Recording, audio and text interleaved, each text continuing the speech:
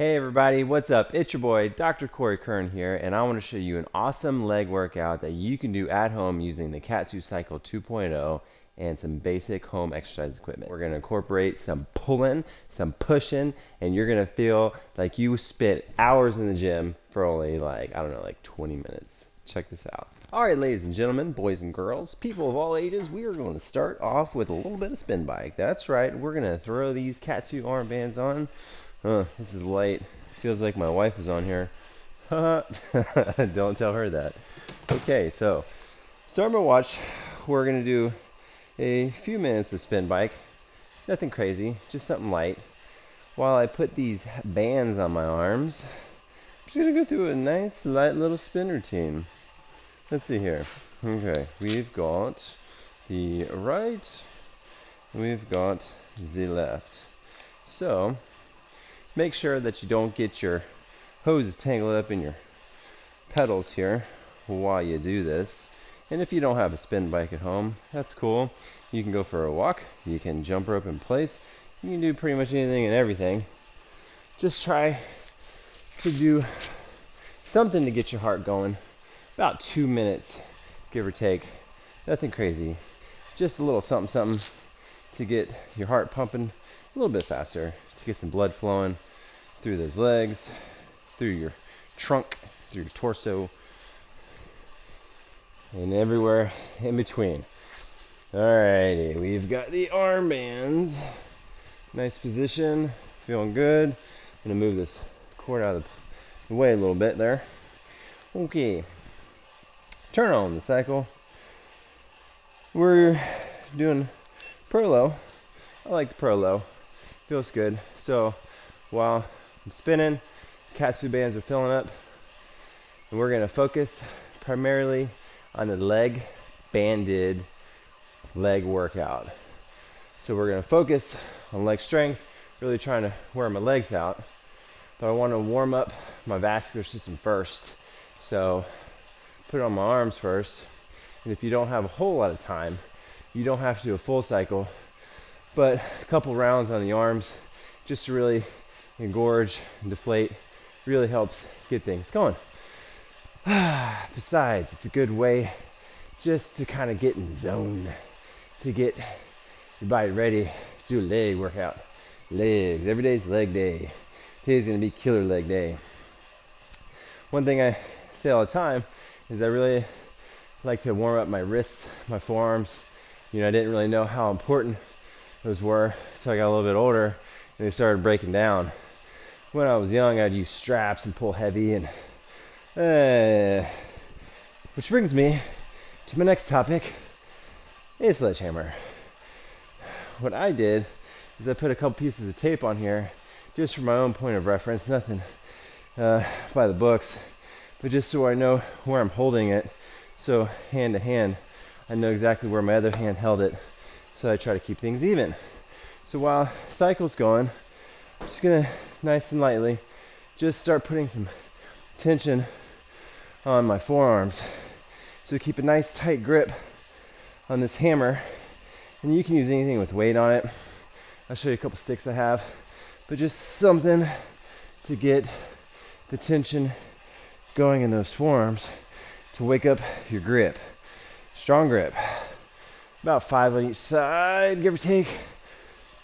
Uh, so I like to do like a ulnar deviation. Really engage the top of that forearm and then do a couple rolls.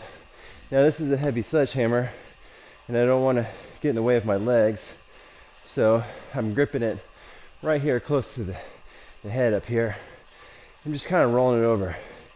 If I were to grip down here, way harder, way harder. So just something to get your forearms going while you're pedaling. Remember, don't hurt yourself.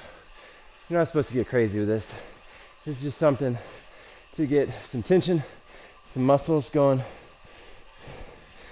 in your forearms. Okay, that was total four minutes on the spin bike. Yeah, I gotta move my bike out of the way because I don't have a whole lot of room in this guy. Alright, where are we? We're on cycle five. I got my squat rack here, and it's not anchored down. I highly recommend you bolt yours to the ground, but my wife likes to move things around all the time. So I might get an eviction notice next week if uh, she feels like she wants to paint something. All right, so I'm loading down the squat rack because I'm gonna do some pulling. So your back's very important, your shoulder blades. So you really wanna get those muscles in your back engaged. That helps get your lats woke up. And so if you're gonna do sort of leg workout, you really want your lats engaged, core, all that stuff to stabilize that stack of rocks above your pelvis. So we got some weight, 135 pounds on the uh, squat bar. We're gonna be hitting that guy up later. For right now, we're gonna do some TRX rows. We are on cycle number six for those of you who are following at home. I'm going to take the TRX to about to waist level, maybe a little bit lower. Lean back and just nice light pulling. And again, this is just trying to get those muscles in your back in the game. You want them playing. You don't want them sitting on the sideline. You want them in the game, woke up, responsive, ready to go. So I'm usually aiming for about 15, starting with like a thumbs up neutral grip, and I'm just trying to pull my shoulder blades together and pull my chest apart. So you can alternate between an external rotation, you can do an overhand pull, you can do a face pull, knuckles to forehead.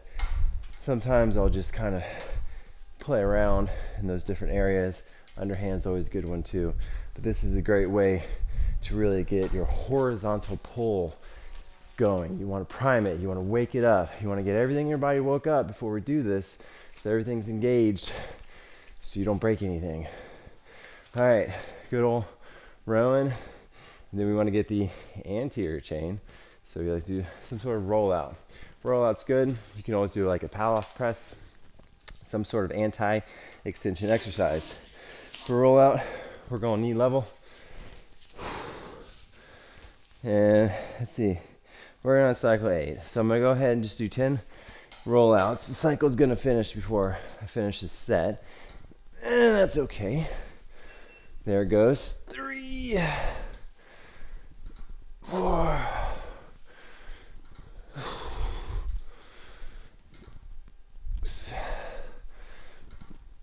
seven, eight. Let's watch a couple windows. Uh, eight. So out, sweep, out, down, out, sweep, out, and you can alternate if you really want to get after it. We'll do more on an ab focus later this week. All right, that was it for the arms. We're going to switch to the legs. Pop off the arm,